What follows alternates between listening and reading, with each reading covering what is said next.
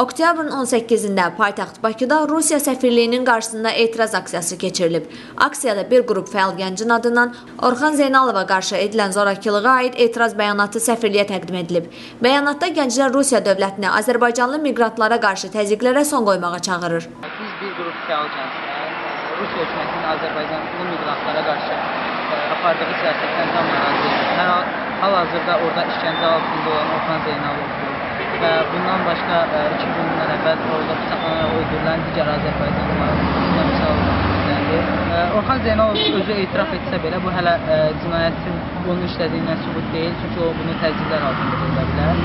Bundan başqa da heç bir cinayətkara o səviyyədə işgəncə verilmir və heç bir cinayətkar Daxili İşlər Nazirinin birbaşa qarşısına həmin vəziyyətdə aparılmır. Bu birbaşa ə, şəxsin deyil, Azərbaycan xalqının, Azərbaycanlı miqrantların.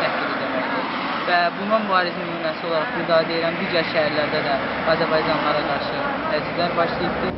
Səfirliyin mətbuat xidməti ə, bizim bəyanatı qəbul eləmədi. Mə- Bizə elə gəlir ki, bununla onlar bildirmək istəyirlər ki, onlar tamı tamına Rusiya dövləti olaraq, ə, Azərbaycanda səfirlik olaraq bu zorakılığın, bu miqrasiyaya qarşı ə, işgəncələrin arxasındadır.